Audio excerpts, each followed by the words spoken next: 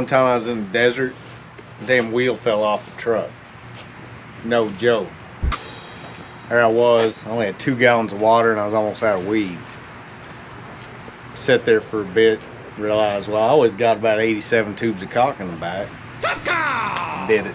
Made a whole new axle and tire out of caulk.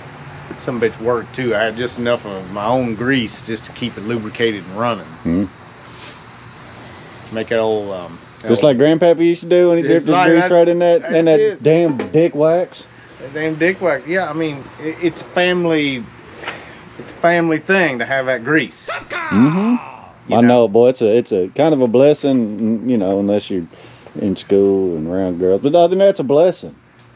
I mean, everybody knows where you've been Mm-hmm. when you grease like us. That's right. Talk, talk.